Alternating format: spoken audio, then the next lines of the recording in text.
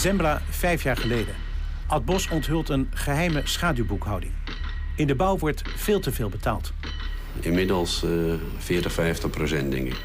Er volgt een parlementaire enquête. Er komen meer klokkenluiders. Maar daarna wordt het stil. We onderzochten wat de onthullingen uiteindelijk hebben opgeleverd. Voor hoeveel geld hebben de bouwers de Nederlandse samenleving opgelicht? En zijn de bedrijven daarvoor gestraft? Wat blijkt?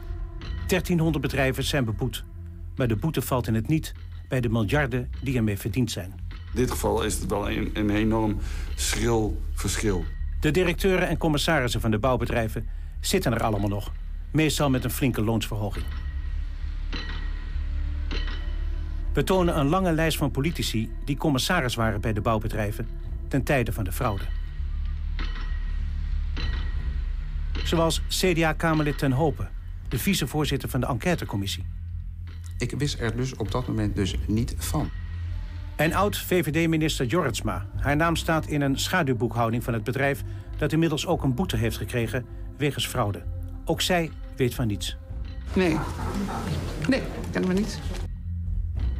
Alleen de klokkenluiders zitten thuis. Berooid en zonder een bedankje.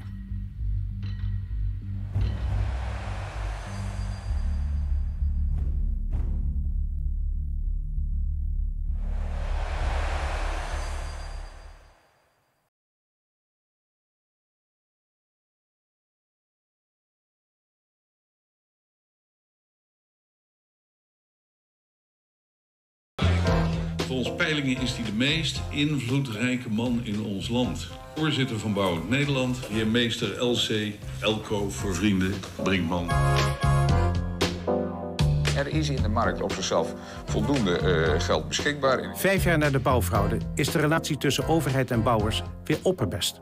Vandaag ziet u ook dat we gewoon heel normale verhoudingen hebben met bijvoorbeeld Rijkswaterstaat en andere opdrachtgevers. Er is weer vertrouwen in elkaar. Ja. Het lijkt alsof er niks is gebeurd, maar dat is schijn. De afgelopen jaren zijn verschillende schaduwboekhoudingen over bouwfraude naar buiten gekomen. Dit is de meest bekende, die van Ad Bos, over fraude in de weg- en waterbouw. Deze is minder bekend, heeft ook 2,5 jaar in dit kippenhok gelegen, verstopt. In 2004 kwam deze schaduwboekhouding naar buiten, ruim anderhalf jaar na de parlementaire enquête. Hiermee wordt de ware omvang van de bouwfraude duidelijk. Haast overal in de bouw vindt oplichting en fraude plaats. Zelfs bij scholen en kerken. Deze geheime schaduwboekhouding wordt door de heer Drost naar buiten gebracht. In december 2001 heeft mijn toenmalige schoonvader gevraagd of dat ik een uh, papieren, documenten voor hem wilde bewaren. Uh, ik had de indruk dat het ging om zogenaamde eigendomsbewijs of, of andere papieren. dat heb ik gedaan. Ik heb die spullen in ontvangst genomen. Later realiseerde ik me dat het kort na de uitzending van Zembla was. En na een 2,5, 3 jaar vroeg hij mij om mij die stukken terug te geven. Die stukken had ik bewaard in een uh, kippenhok, een voormalig kippenhok. Ik haalde de spullen eruit in begin januari 2004. En terwijl ik het eruit haalde, het was wat vochtig, klam weer, scheurde de envelop open. Het eerste wat eruit viel was een, een, een lijst of een, of een verrekening, wat erop stond, bleek later, van Schiphol. En omdat Schiphol eigenlijk een hele rare gewaarwording was, omdat ik dacht dat het om een eigendomsbewijs ging, ben ik verder gaan kijken. En toen kwam ik erachter dat het gewoon ging om een, een schaduwboekhouding die ik 3,5 jaar ondermat. In de schaduwboekhouding staan honderden bouwprojecten. Projecten waar bouwers onderling illegale afspraken over gemaakt hebben. En de prijs is verhoogd. Er staan bedragen in van 30.000, maar ook van 200.000 en zelfs een half miljoen gulden. De lijst lijkt eindeloos. Van Abbe Museum Eindhoven. Kerken in Andel, Groesbeek en Vlissingen. Werk Humanitas. Het AZ-stadion in Alkmaar. TU Delft. EPIR Schiphol. Texaco Den Haag. Lorent Ziekenhuis te Zeist. Stadhuis Utrecht. Toneelschuur Haarlem. Zorgappartement in Almere. Verpleeghuis Scheveningen. Radboud Ziekenhuis Nijmegen. Hoge Hotelschool in Den Haag. Ronald McDonald Huis in Utrecht. Toen ben ik echt boos geworden. Toen het Ronald McDonald Kinderfonds toen zag dat het huis in Utrecht voor 140.000 gulden bedot is. Dus ook liefdadigheids... Liefdadigheids, ziekte kinderen met die kale kopjes. Toen ben ik echt boos geworden. Ik zeg, nou, dit is, dit is gewoon te schoftig voor. Dat daar ook nog fraude... Dat daar nog uh, fraude gepleegd moet worden. De schoonvader van de heer Drost hield in deze boekhouding bij welke bouwbedrijven nog geld van elkaar te goed hadden. Via valse facturen werd dit onderling verrekend. Ik herkende eigenlijk in 98% van de gevallen, kan ik wel zeggen... het is uh, bijna 400 pagina's, maar zeg maar in, in, in 350 uh, pagina's gevallen... was het, uh, het handschrift van mijn toenmalige schoonvader. Maar wat deed hij dan? Wat was zijn functie? Hij was statutair directeur van Boel en Van Eesteren... een werkmaatschappij van Volker Wessels. En zijn rol eigenlijk bij het bedrijf was vooral het acquireren. Dus acquisitie doen, het binnenhalen van opdrachten... van vrij grote opdrachtgevers. Hij was een soort spin in het web? Dat blijkt. Hij hield dus bij wat allerlei andere bedrijven nog aan elkaar te goed hadden. Nou, die indruk heb ik gekregen, ja. Maar hoe is het allemaal begonnen? Wanneer kwamen de eerste berichten over bouwfraude naar buiten? 1998, de Schipholspoortunnel. Hoofdboekhouding bij deze tunnel ontdekt gesjoemel met valse facturen. Hij wil dat naar buiten brengen, maar het bedrijf wil liever niet dat het bekend wordt. Klokkenluider Zinhagel wordt geprobeerd het zwijgen op te leggen. En men heeft mij toen 150.000 gulden aangeboden. Tegen inlevering van de stukken. Maar wel met de sanctie dat ik dus geen contact met de media mocht opnemen. Er stond een boete op, direct op te leggen boete. Dus als u zweeg, dan kreeg u 150.000 150.000 gulden. En, heeft u dat geld geaccepteerd? Dat heb ik niet geaccepteerd. Want dat is toedekken van strafbare feiten. De heer Zinhagel wil eerlijk blijven en stapt naar de Telegraaf. Maar de klokkenluider wordt meteen hard aangepakt. Toen werd ik dus van het project geschopt. Zo mag je dat uh, letterlijk verklaren. En, en tenslotte... ontslagen? En uiteindelijk ontslagen. Drie jaar later, 2001. Ad Bos komt met de onthulling dat er in de weg- en waterbouw flink gefraudeerd wordt. Men vraagt soms de helft extra. Ja.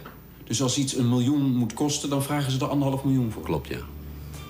Hij heeft een zogenaamde schaduwboekhouding. Duizenden projecten staan beschreven. Bij elk van deze projecten staat hoeveel geld er extra bovenop de normale prijs gezet wordt. Honderden vellen papier van fraude en oplichting.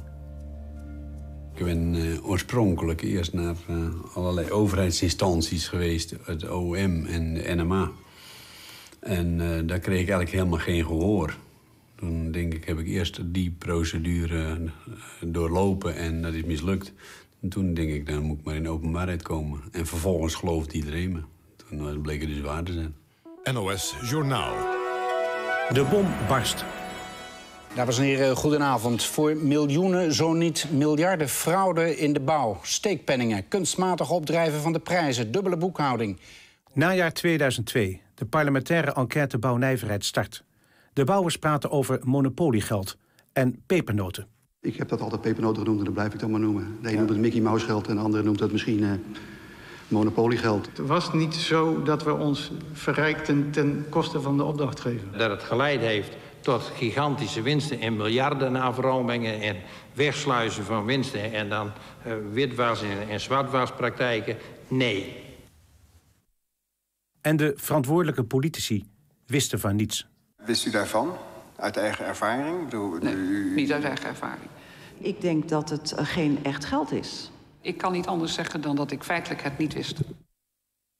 Gaandeweg blijkt uit de enquête dat het over echt geld gaat. Ik kan u zeggen dat wij terugkijkend geschrokken zijn van de ernst en de omvang van de onregelmatigheden die wij hebben aangetroffen. De vraag is nu, hoe is er afgerekend met deze bouwfraude? Hoe zijn de bouwers afgestraft? We beginnen bij justitie. Welke zaken hebben zij vervolgd? Slechts vier bouwbedrijven en een tiental personen komen voor de rechter. De straffen zijn mild. Een paar taakstraffen en boetes variërend van 3000 tot 100.000 euro. In totaal 2,5 ton boete. Het zijn allemaal zaken uit de schaduwboekhouding van Ad Bos. Geen enkele zaak uit de schaduwboekhouding die de heer Drost naar justitie bracht. Wat heeft het Openbaar Ministerie ermee gedaan? Nou, nou mijn indruk niks. Uh, Helemaal niks? Nee, er is, ik, moet, ik, heb eigenlijk uit de krant moeten, moeten vernemen... Uh, dat het van het Openbaar Ministerie naar de NMA is gegaan. Maar ik heb buiten een, een, een getuigenverhoor... wat ik af heb gelegd in, in februari 2004...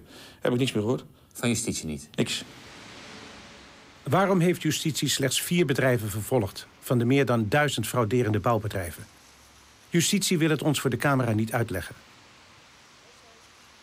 Dan is er ook nog de kartelpolitie, de Nederlandse mededingingsautoriteit, NMA, opgericht om kartelvorming tegen te gaan. Als je een kartel in stand houdt, dan ontwricht dat de economie. Want dan rem je de, de innovatie af. Je houdt mensen tegen, nieuwe toetreders hou je tegen om tot die markten te komen. Dat is heel slecht voor de economie. Het is bovendien juridisch verboden. De Nederlandse mededingingsautoriteit heeft na vijf jaar alle onderzoeken afgerond en boetes uitgedeeld. De NMA heeft meer dan 1300 bedrijven aangepakt. Wij zijn eh, inderdaad vijf jaar na een, uh, uw uitzending. We zijn eigenlijk drie jaar bezig met het opleggen van sancties. En we zijn in de eerste ronde vrijwel klaar. En kunt u mij zeggen wat het totale uh, bedrag van boetes wat u uitgedeeld heeft? Het totale bedrag aan boetes afgerond is 306 miljoen euro. En over hoeveel bedrijven hebben we dan? We hebben het over ongeveer 1300 bedrijven. 1300 bedrijven, 306 miljoen euro. Ja. Men begon met enorme boetes uit te delen en vervolgens is men uh, constant bezig geweest om allerlei uh, regulerende boetes uh, in, kortingen. In te, kortingen in te voeren om de bouwers nou ja, naar de zin te maken. We bekijken een willekeurig NMA-boetebesluit van ruim 33 miljoen euro. Een groot bedrag, maar het wordt verminderd met een clementietoezegging van 50% en een korting van 15% blijft over slechts 11 miljoen euro. En deze kortingen gelden voor heel veel bouwbedrijven. Als u een keer door het rood licht rijdt, hebt u waarschijnlijk dan nooit korting gehad. Maar de bouwers hebben allerlei kortingen gekregen als ze medewerking wilden verlenen. Het enkele feit dat ik dus heb gezegd, dames en heren, denk eens aan onze clementieregeling. Kom bij de NMA en maak alsnog schoon schip. Betekende niet dat die mensen dan helemaal niet meer beboet zouden worden. Die zijn nog zeer steeds substantieel beboet voor tientallen miljoenen euro's. Een overzicht. Justitie heeft voor ruim 250.000 euro aan boetes uitgedeeld. De NMA in totaal voor 306 miljoen. Daarnaast hebben de bouwers ook nog een bedrag terugbetaald aan overheid, provincies, gemeentes, waterschappen en Schiphol.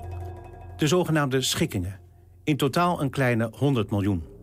Alles bij elkaar is er dus voor 406 miljoen euro door de bouwers terugbetaald. 406 miljoen euro, een fors bedrag. Maar schrikken de bouwbedrijven daarvan? Wat is de illegale winst? Als je weet wat ze met de fraude verdiend hebben, is het beter te beoordelen of ze van de boete schrikken. Justitie heeft dat niet berekend. Is de illegale winst berekend door de NMA? We hebben niet van kartel tot kartel de schade berekend. We hebben algemene uh, uitgangspunten genomen wat de schade voor kartels zou kunnen nemen. Om een beeld te krijgen hoe hoog boetes zouden moeten zijn om af te schrikken. Is dat bedrag ooit berekend door de overheid, door justitie, door een instantie? Nou, mijn is niet, nee. Want men, men is altijd bezig geweest om het te bagatelliseren vanaf de eerste dag. En nu nog. Maar is dat niet vreemd dat er nooit onderzocht is? Dat is heel vreemd, ja. Vind ik wel.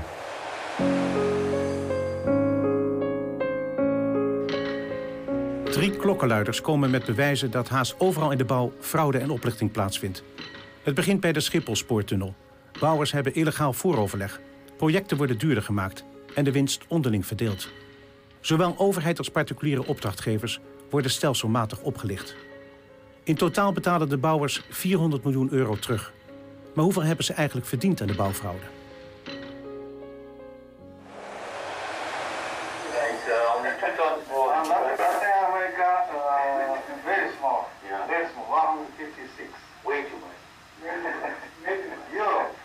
Dit zijn unieke beelden. Uh, het zijn tapes die de FBI uh, eh, heeft uh, gemaakt met undercover camera's, midden jaren 90. Zij hebben de wereldmarkt en ze hebben die verdeeld onder, onderling. zodat ze voorkomen dat er prijsconcurrentie ontstaat. Het is uniek materiaal, fantastisch ook voor ons als wetenschappers. Want nu weten we dat kartels inderdaad zo opereren als we altijd vermoeden dat ze opereren. Maarten Pieter Schinkel, kartelspecialist en hoofddocent aan de Universiteit van Amsterdam. Hij bestudeerde in de Verenigde Staten kartels en hoe ze daar aangepakt worden. In de VS wordt meestal een berekening gemaakt hoeveel bedrijven verdienen aan hun oplichting. Het is uh, gebruikelijk ook weer in de Verenigde Staten, waar dit een veel professionelere aangelegenheid is, om in uh, mededingingswetsovertredingen uitvoerig uit te zoeken wat de schade is. Zou het goed uitgezocht moeten Dat zou heel belangrijk zijn, ja. En het is ook zeer raar dat dat niet gebeurd is, met name niet gebeurd is door uh, particuliere partijen of, over, of specifieke overheidsinstanties die die schade hebben opgelopen. We hebben aan Schinkel gevraagd om een berekening te maken hoeveel de bouwers hebben verdiend aan hun oplichting. Een ingewikkelde berekening. Er zijn uh, niet zo heel veel openbare bronnen, maar dit lijkt uh, het beste wat ik kan doen op dit moment te zijn. Het Centraal Bureau voor de Statistiek schat de totale omzet, uh, gemiddelde omzet in die periode van 10 jaar waar we het over hebben, op ongeveer 50 miljard euro per jaar. De bouwfraude is gestart in 1992 en duurde tot minimaal 2001. In die 10 jaar was de totale bouwomzet 500 miljard euro. Maar niet overal is fraude gepleegd. Slechts bij een deel van de aanbestedingen werden de prijzen illegaal verhoogd. Dit is het besmette deel van de omzet. NMA heeft ongeveer 60% van de bedrijven uh, beboet. Maar laten we conservatief zijn en zeggen 30% van de totale omzet is besmet. Een derde deel van de omzet is besmet. Dat betekent dat bij grofweg 160 miljard aanbestedingen de prijs illegaal werd verhoogd. De vraag is nu met welk percentage werd de prijs verhoogd? Tussen de 10 en de 15 procent is heel redelijk. Dat is ook in lijn uh, met uh, internationale literatuur over prijsopslagen. Uh, waar trouwens het gemiddelde nog hoger ligt, op 30 procent ongeveer. Maar laten we zeggen conservatief, tussen de 10 en de 15 procent opslag. Conservatief geschat werden de prijzen van de aanbestedingen dus met 10 tot 15 procent verhoogd. 10 jaar bouwfraude betekent dus een totaal geschat fraudebedrag van 15 tot 25 miljard euro. Waar is dat geld naartoe gegaan? Voor een groot gedeelte zijn dat winsten, eh, wel illegale winsten, maar winsten die naar de bouwbedrijven zijn gegaan. Maar je ziet ze niet terug in de boekhouding. Misschien dat ze, uh, dat weten we ook wel uit de literatuur, uh, dat ze daarmee dingen gedaan hebben die kosten hebben gemaakt die ze anders niet zouden hebben gemaakt. Kosten zoals dure reisjes, uh, dure diners, dure auto's, allerlei dure gebouwen. 15 tot 25 miljard euro is te veel betaald aan bouwprojecten. Dit geld is in de zakken van de bouwers verdwenen. Geld dat gebruikt had kunnen worden voor allerlei overheidsprojecten. Twee oud-Kamerleden, Gert Leers en Rob van Gijssel... maakten zich al vijf jaar geleden druk over de schade die de bouwers de maatschappij berokkenen. Wij, niet de overheid, is slachtoffer, maar de burgerslachtoffer die betaalt de belasting daarvoor. Als we inderdaad uh, eerst uh, drie dure ziekenhuizen hebben gebouwd... of drie dure viaducten... Uh, en die hadden goedkoper gebouwd kunnen worden... hadden we wellicht nog dat vierde ziekenhuis of, of die vierde straat nog kunnen bouwen. En dat is ook de reden geweest waarom ik heb gezegd... dit mag zo niet. En dat maakt het extra schrijnend. Want we hebben dat geld bij elkaar gelegd om Nederland een beetje mooier te maken... en niet om zakken te vullen. De afrekening. 406 miljoen euro hebben de bouwers in totaal terugbetaald. Maar in die 10 jaar hebben ze 15 tot 25 miljard euro aan illegale winst gehad. Nou is het wel vaak zo dat een boete niet altijd precies het economische uh, verlies uh, moet compenseren. Maar in dit geval is het wel een, een enorm schril verschil. Uh, wij wisten al dat, dat het ongeveer 500 miljoen per jaar waar het gaat om infrastructuur was. Later bleek dat dat een veel hoger bedrag nog was, volgens de enquêtecommissie. Ja, en als je dan ziet uh, waar men uiteindelijk mee weggekomen is... Als je de grote bouwbedrijven bekijkt die bij de bouwfraude betrokken waren... dan is niemand van de Raad van Bestuur justitieel vervolgd of opgestapt. Een paar voorbeelden. Bouwbedrijf TBI, de heer Woudenberg. Uit een schaduwboekhouding blijkt dat hij betrokken is geweest. Maar Woudenberg kan naar eigen zeggen het niet meer helder voor de geest halen. Dura Vermeer, de heer Van Wel. Ook zijn naam staat in de schaduwboekhouding. Maar ook Van Wel kan zich er niets meer van herinneren. Ballas Nedam, de heer Kotman. Ballas Nedam vernietigt meteen na de uitzending van Zembla een schaduwboekhouding. Maar Kotman houdt vol dat hij van niets wist. Bam, de heer Van Vonno. Dit bedrijf heeft de grootste boete van de NMA gekregen. Van Vonno zag zijn loon inclusief bonus stijgen tot ruim 800.000 euro. Maar ook hij wist van niets. We hebben al deze bedrijven gevraagd of ze ons te woord wilden staan. Maar niemand wil reageren. In de Verenigde Staten wordt volgens Schinkel anders omgegaan met bedrijven die fraude plegen. Mensen worden bijvoorbeeld, uh, nou ja, het gaat tot aan gevangenisstraf. Maar mensen kunnen ook individuele boetes opgelegd krijgen of bijvoorbeeld uh, ontslagen worden. Mensen worden persoonlijk aangepakt. Ja. Boetes moeten afschrikwekkend zijn, vindt de NMA. Maar als je de balans bekijkt, is het de vraag of deze boetes wel afschrikwekkend zijn. Ik hou dat tegen dat die mensen er goed mee zijn weggekomen. We zijn er allemaal slecht mee weggekomen met die kartels. En daarom moeten we er ook waakzaam voor zijn dat dat niet doorgaat. Of wie niet weer opnieuw opkomt. Maar waarom zou ik er niet meer doorgaan als ik als persoon, als bestuurder, toch niet in de gevangenis kom. Als ik, nou ja, wat voor een boete ik moet betalen is minimaal. Mijn winst voor mijn bedrijf is veel groter als ik dit zo door blijf gaan. Ik denk dat u de zaak ongelooflijk bagatelliseert eh, en vanwege het effect eh, nog extra aanzet ook. Ik moet u zeggen, die boetes die zijn als robuust ervaren. Ik herhaal dat, ik heb het wel eens eerder gezegd, ook bij spreekbeurten en ook bij uw collega's voor de televisie, dat die boetes belopen soms de jaarwinst van een onderneming. Dat zijn naar Nederlandse begrippen grote.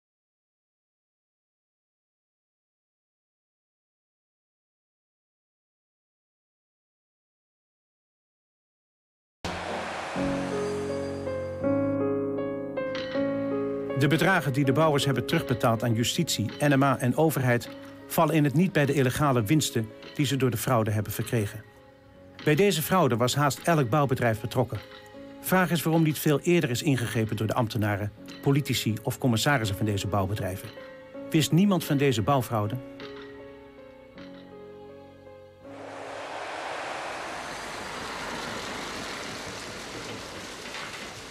Het bedrijfsleven heeft een boete betaald. En daar is zeg maar ook imagoschade.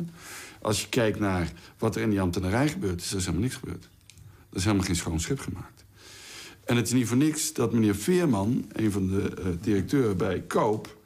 die had een agenda, heeft hij ook verteld bij de enquêtecommissie... die heb ik laten verbranden.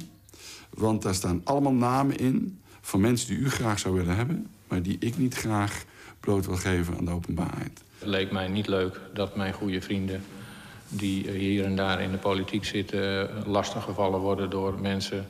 en dan heb ik het niet over u, maar uh, uh, van justitie... met allerlei vervelende vragen. Dus dat was de reden dat ik dacht, ik gooi het gauw weg. Die ambtenaar die wil natuurlijk niet hebben dat het nog ooit naar buiten komt... dat hij ooit betrokken is geweest bij omkoping... Uh, in wat voor vorm dan ook. Daarmee is hij chantabel. Zeg. En daarmee is hij chantabel geworden. En dat had justitie dus moeten voorkomen... door een goed en grootscheeps onderzoek te verrichten naar de overheidskant. Het zijn niet alleen de ambtenaren die dicht op het bedrijfsleven zitten. Allerlei politici blijken commissaris te zijn bij bouwbedrijven. Mijn jongste broer is aannemer, om dan maar eens even een, een, een hele huiselijke mededeling te doen. Uh, ik ben zelf ook wel een tijdje commissaris geweest bij een bouwbedrijf, dus ik weet ongeveer hoe het daar gaat. Een politicus als commissaris bij een bouwbedrijf is op zich niet vreemd. Maar commissaris zijn in een periode dat het bedrijf fraude pleegt en de boel oplicht, is wel vreemd. Over welke politici gaat het? Bij de door de NMA beboete bouwbedrijven waren de volgende politici betrokken. Hans Wiegel, VVD, oud-minister en oud-Tweede Kamerlid, commissaris bij Grondmee. Piet Bukman, CDA, oud-voorzitter Tweede Kamer, commissaris bij Dura Vermeer. Wim Meijer, Partij van de Arbeid, oud-Tweede Kamerlid, commissaris bij TBI Holdings. Wim Stevens, CDA, oud-Eerste Kamerlid, ook commissaris bij TBI Holdings. Schenk Kremers, CDA, oud-gouverneur van Limburg, commissaris bij Heijmans. Nelly Kroes, VVD, oud-minister, commissaris Ballas Nedam en adviseur Arcadus Infra BV. Huub Eversdijk, CDA, op dit moment Eerste Kamerlid, commissaris Hillen en Rozen. Al deze politici waren commissaris bij bouwbedrijven toen deze fraude pleegden en de boel oplichtten. Als commissaris moeten zij toezien dat dat niet gebeurt. Zouden al deze politici echt van niets hebben geweten? Ik ben zelf ook wel een tijdje commissaris geweest bij een bouwbedrijf... dus ik weet ongeveer hoe het daar gaat. U wist dus al, voordat de enquête van start ging... voor de Zembla-uitzending van deze praktijk... en heeft ze je nooit gemeld? Ja, maar dan is even ook de vraag of dat mijn verantwoordelijkheid zou zijn. Weet toch dat prijsafspraken maken, kartelvorming... dat dat misdrijven zijn die je net burger bij justitie hoort te melden?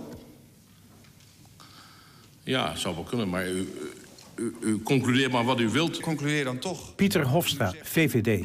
Hij wist er dus van, maar zei niets. En dan is er ook nog de heer Jan ten Hopen, CDA Tweede Kamerlid, vicevoorzitter van de Tweede Kamer en vicevoorzitter bij de parlementaire enquête bouwfraude. Commissaris bij Heinz Schilderbeheer BV. Tijdens de uh, parlementaire enquête bleek ook ineens dat u ook in de raad van commissarissen had gezeten van een bedrijf, een bouwbedrijf. Klopt. Waarom was dat niet bekend bij de enquêtecommissie? Nou, dat was op zichzelf wel bekend, maar dat was blijkbaar in het cv van mij kwam dat toen naar buiten. Maar de voorzitter van uh, de enquêtecommissie, Marijke Vos, die was hooglijk verbaasd daarover. Ja, dat, inderdaad. Maar ze had er kennis van kunnen nemen. Het was niet geheim. Ook Hein Schilderbeheer heeft een boete gekregen van de kartelpolitie. Net in de periode dat u commissaris was, heeft dat bedrijf illegale afspraken gemaakt. En de NMA heeft nu ook gezegd van dat klopt en dus beboeten we dat bedrijf. Dus als commissaris zat u helemaal fout. Ik ben in dat bedrijf eh, gekomen, zoals ik u net zei. Mij, en ook uit de stukken die mij voor zijn gelegd... heb ik dat niet uit kunnen halen. Was dat mij geworden, dan had ik er ook geen commissaris geworden. Kent u uh, de directeur bij dat bouwbedrijf als de heer Schaling? Op dat moment dat u commissaris was, klopt dat? Ja. We benaderen de oud-directeur, de heer Schaling. Hij verklaart tegenover ons dat ten hope volledig op de hoogte was. Als ik letterlijk de, uh, de verklaring voorlees... op de vraag van een heer ten Hope wat die afspraken inhielden... heb ik hem uiteen gezegd dat het in de branche gebruikelijk was... om vooroverleg te plegen over openbare aanbestedingen. Waarbij de laagste aanbesteder in het vooroverleg het werk kreeg. Dit tegen betaling van een onderling af te spreken bedrag aan de overige inschrijvers. Dat is precies waar de bouwfraude over ging. Dat is illegaal. Dat klopt, dat is illegaal. Is dat toen ter sprake gekomen in najaar 97 tijdens die vergadering? Ik heb op basis van de kennis die mij toen is aangereikt... en op basis van de kennis die mij toen bekend waren... is dat op die wijze, op wijze zoals we het later in de bouwenquête met elkaar hebben besproken... is mij dat zo niet voorgelegd. En is, anders had ik daar ook geen commissaris geworden. Met alle respect, u bent niet alleen Kamerlid... maar u bent ook vicevoorzitter geweest van een parlementaire enquêtecommissie bouwfraude. Als u wist van tevoren hoe de bouwfraude werkte... had u natuurlijk nooit in die commissie moeten gaan zitten. Dat is op zichzelf dat is een terechte vraag. Maar, ik wist maar daarmee komt u dus uw integriteit ter discussie. Ik wist er dus op dat moment dus niet van. Anders maar dat ik... betekent dus dat de heer Schaling niet de waarheid spreekt in deze? Als ik u zeg dat ik er op zowel bij de start als bij het bedrijf bij de geen, geen kennis van droeg... Dat betekent dat de heer Schaling liegt? Nou, in ieder geval, ik droeg er geen kennis van. Een week na het interview belt het CDA. Ten Hope wil nog een verklaring afleggen. Hij blijft erbij dat het nooit besproken is. Dat is nooit ter sprake geweest en het is met mij ook niet besproken. En het is dus ook, droeg ik daar tijdens de bouwenquête... op geen enkele wijze kennis van. Dat kan niet, dat is niet zo. Dat is echt onjuist. Het klopt toch wel dat u commissaris was bij een bouwbedrijf... dat nu is beboet door de NMA voor bouwfraude? Dat is juist. De banden van politici met de bouw zijn ook op andere manieren erg nauw.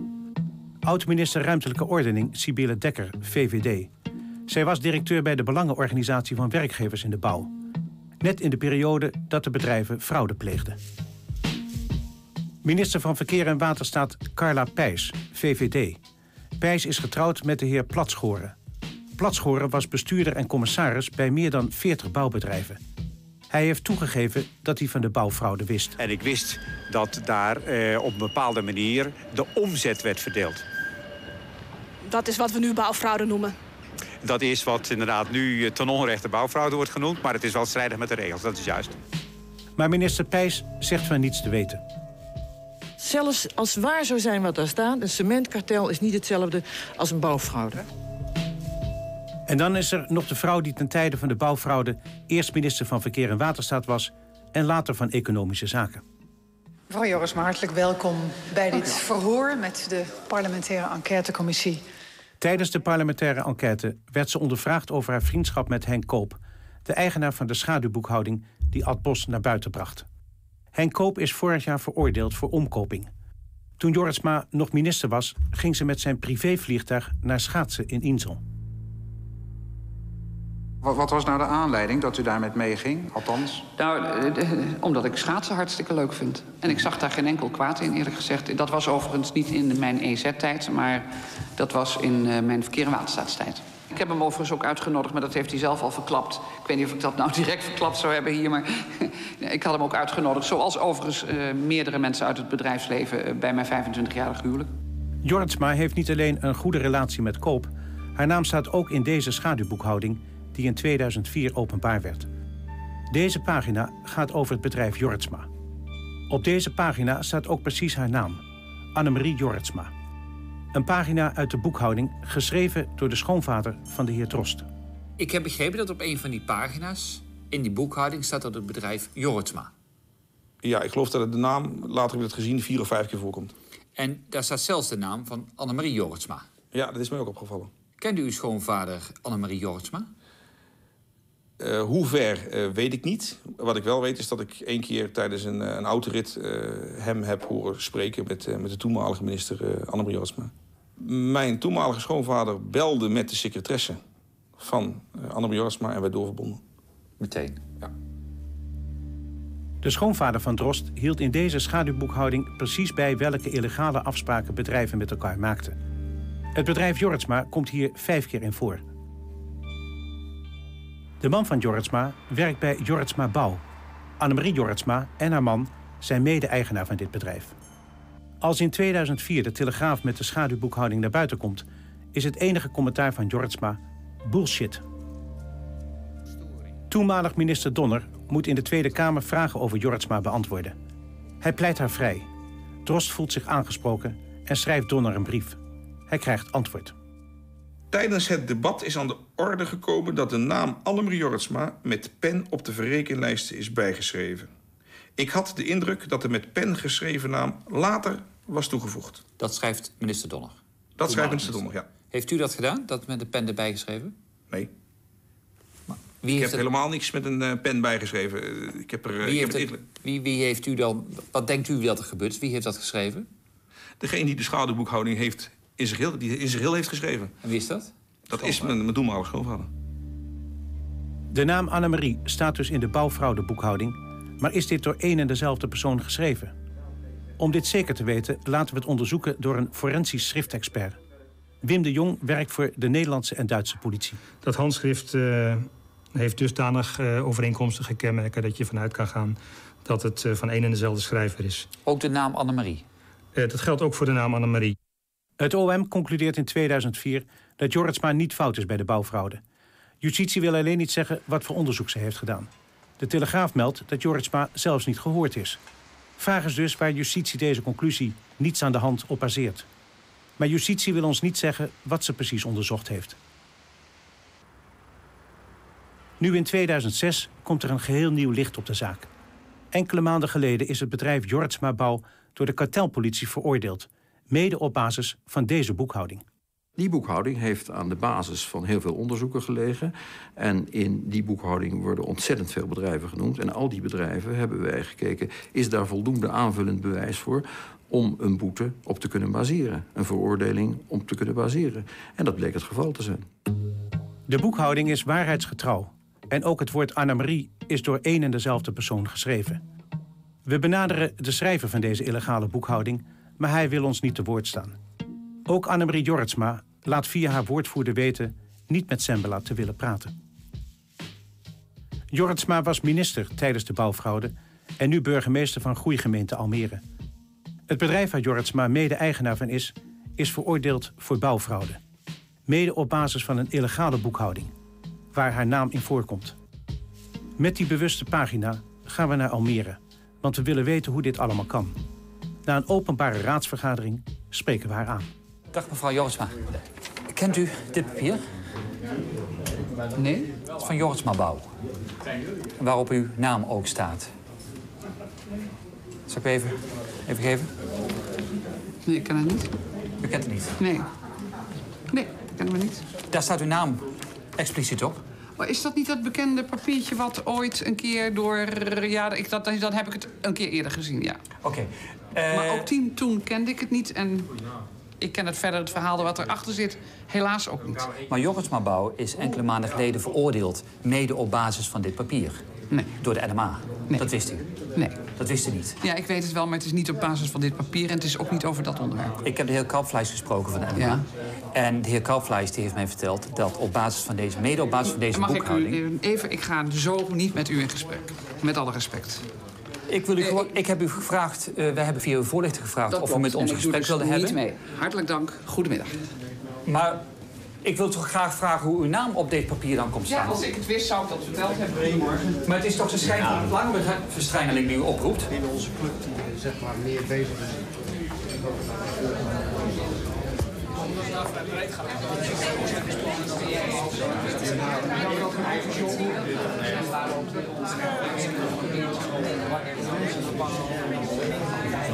Mevrouw Jorisma?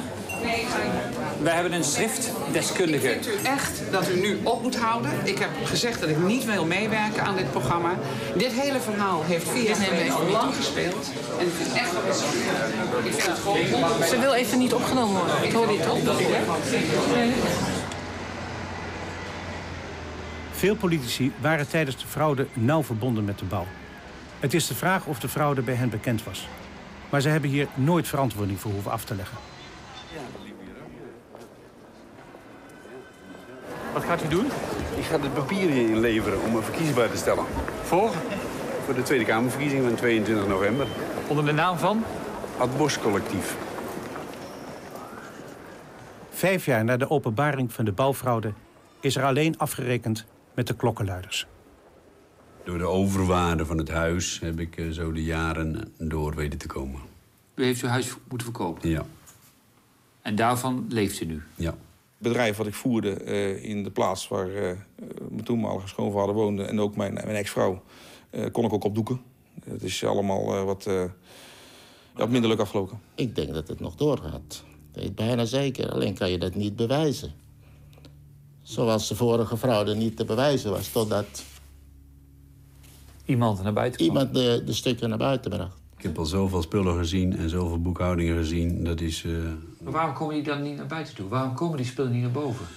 om de dood eenvoudige reden... dat een klokkenluider geen, eh, geen bescherming krijgt in Nederland. We hebben er echt met elkaar iets aan als wij ervoor zorgen dat deze mensen wel beschermd worden.